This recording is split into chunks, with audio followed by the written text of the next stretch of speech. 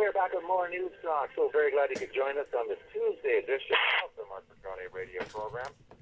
I'm now joined by Denis Rancourt.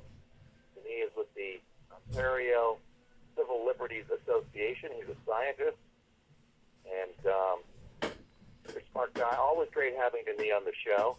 Welcome, sir. Hey, Marc. Hi. Glad to be here. Let me read one of your tweets this morning.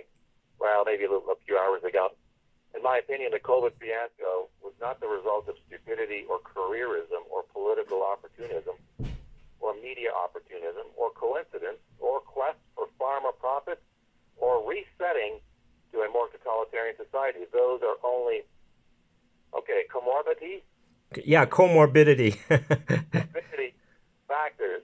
It is about pulling out and isolating.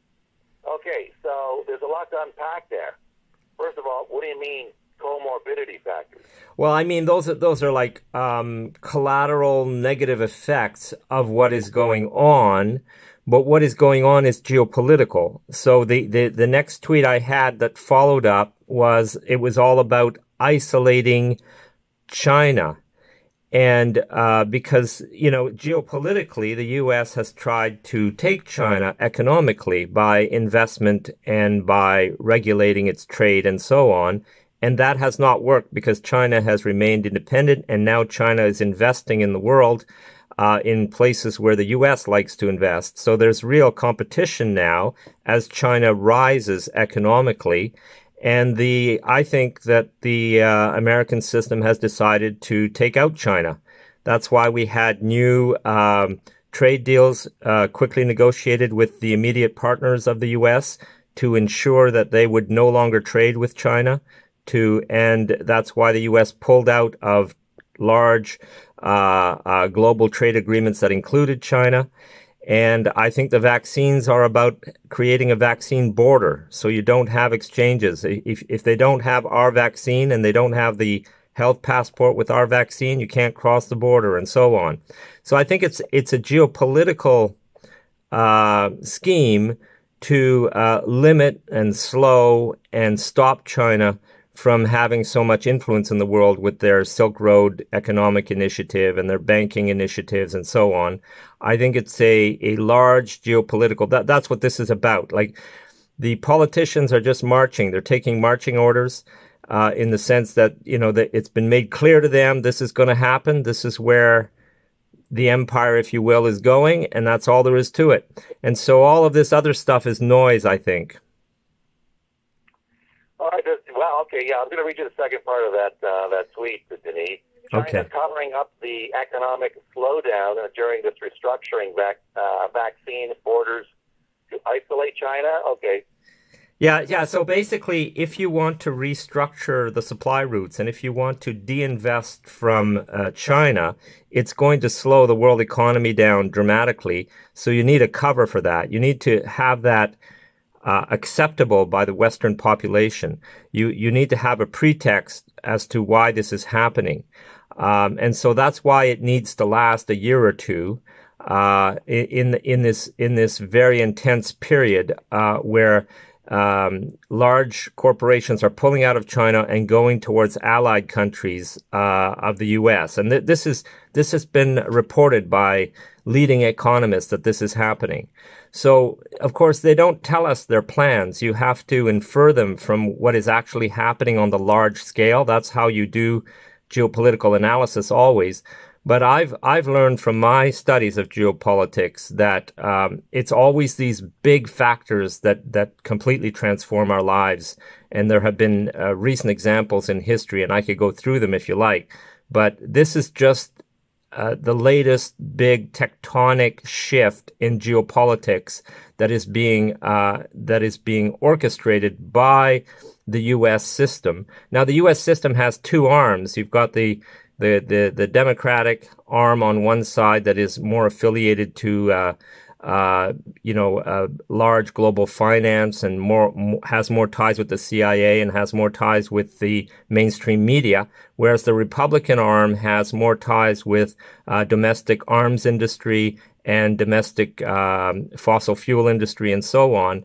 And these two struggle for having the largest relative advantage when these large tectonic shifts are occurring and they and the, the tectonic shifts are decided by the you know what you might call the, the empire itself, the the the the in the industrial military complex that really makes these big geopolitical decisions. Um, they, in a sense, decide where they're going, what they're doing next in the next decade or two, and then everything else follows. And the two com- competing groups try to get relative advantage from that as much as they can. So the big pharma is more associated with big finance, is more on the on that arm, whereas uh, you know um, secure, uh, producing and making money from uh, domestic fossil fuel, shale shale oil is now really big in the U.S. and and also the arms industry that that's a big deal, and um, investment uh, through the U.S. dollar into uh, territories that you want to make money from, like Africa and Latin America. That that's that's part of the more the Republican uh, corporate arm. So you've got these two competing factions, but they they agree on the big line. The big line is the U.S. controls the world uh, as much as it can. You've got this competitor that's coming in now, China that is uh, deciding not to be pinned down by the U.S. dollar, that is making its its own uh, economic agreements with with whatever nations want to cooperate, and um, so you've got a challenger in the world, and this is what they're doing about it. Denis Rancourt joining us on Saga 960, but is it fair to say that China is a malevolent player on the world stage. When you're talking about the average person, myself, for instance, or many of our listeners who are concerned about the stripping away of the eroding of rights, uh, the eroding of our economic situation here in Canada, for instance, where so many of our jobs have, have left.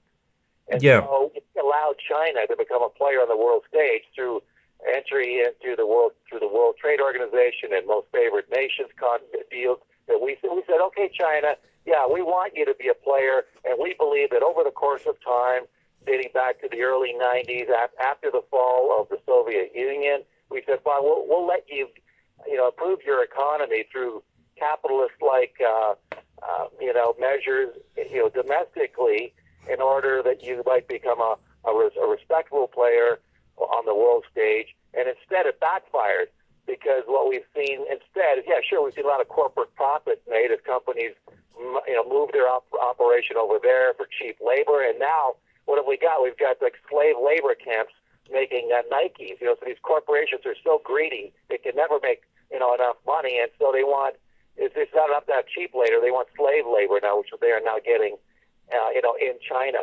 But I'm saying and then out of that we have COVID, which came out of China. I don't think there's any doubt, and I've heard some other stories that maybe it came out of Europe. Uh, the Chinese themselves came up with different stories. And so, but it certainly appears that it came out of China, that it was unleashed. We certainly know for a fact that the Chinese lied about it through their proxies at the World Health Organization and allowed this thing to spread. And so it seems to me that we were under attack by the Chinese, that the Chinese felt that the United States uh, was, you know, repatriating many of these companies, going back to the United States. And so as a result of that, they fought back in the one way that they understood how was, was to allow this thing to spread and destroy and undermine economies in the West. Do you see anything wrong with that argument?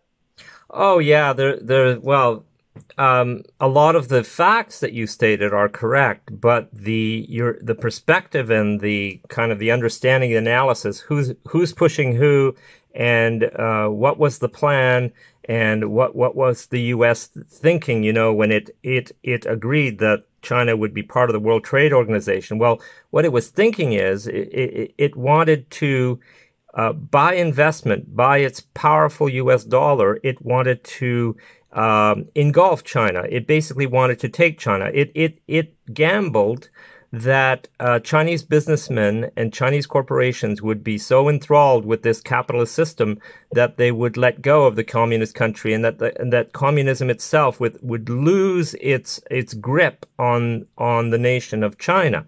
That was their gamble.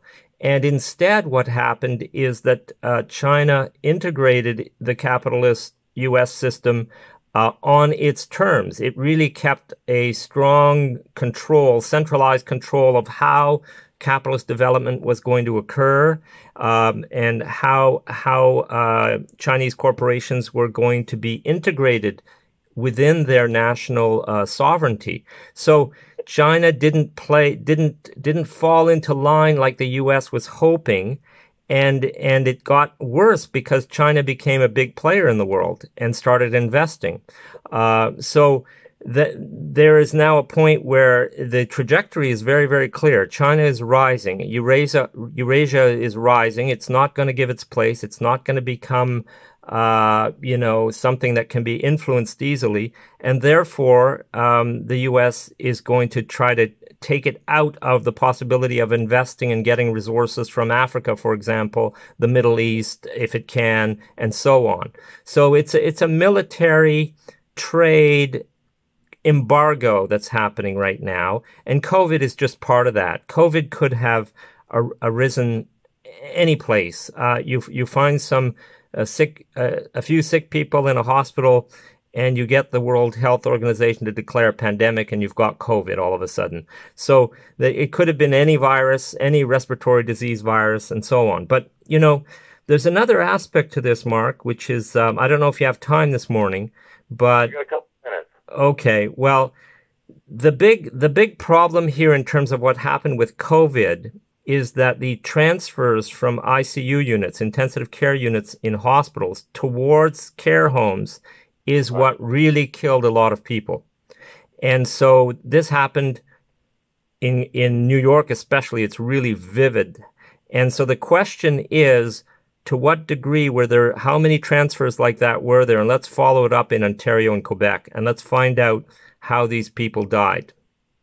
Okay, well, I, I couldn't agree more. I mean, we could, you know, if this was a malicious attack by governments who don't want to spend money caring for old people and feel that these people are, no, are not productive anymore, and, you know, because of budgets being strained, they figured, you know, why don't we release this thing and kill off. Um, no, I don't think it was a malicious attack. I think it, it was, uh, they were responding to the World Health Organization actually telling the entire world, you need to get your hospitals ready because there's going to be a wave of intensive care uh, requirement.